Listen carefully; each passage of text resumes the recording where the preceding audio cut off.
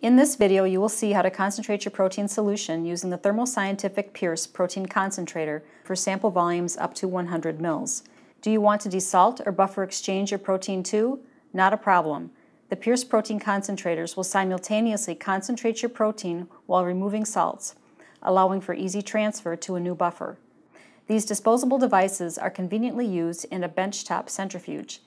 They contain polyethersulfone, or PES, membrane in a variety of molecular weight cutoffs, including 5K, 10K, 30K, and 100K.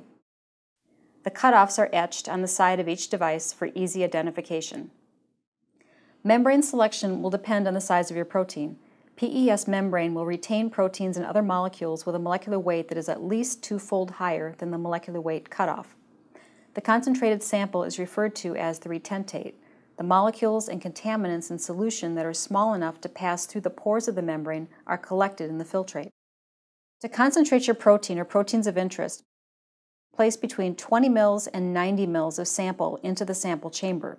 Up to 100 mils can be used, but make sure to seal the cap with parafilm plastic film to prevent leakage. Place capped concentrator into a swinging bucket rotor, as shown here, or a fixed angle rotor that accommodates 250 mil bottles. Make sure that the concentrator has a proper counterbalance. Centrifuge up to 1200 times G until your desired concentration factor is achieved.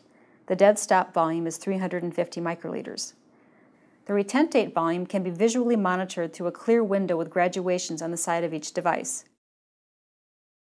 Use a pipette tip to gently remove retentate from the sample chamber. Up to a 30-fold concentration can be obtained in as little as 15 minutes with protein solutions of 0.1 mg per mil or higher. That said, concentration times may vary significantly based on molecular weight cutoff and sample concentration or viscosity. Typical protein recovery is greater than 90%. If you need to desalt and or buffer exchange your concentrated sample, simply decant the filtrate, reassemble the unit, dilute the retentate to the original volume with exchange buffer, and then cap and mix. Repeat centrifugation followed by addition of exchange buffer until desired solute removal has been achieved. Typically, salt content can be reduced by at least 98% with just one exchange with water or salt-free buffer.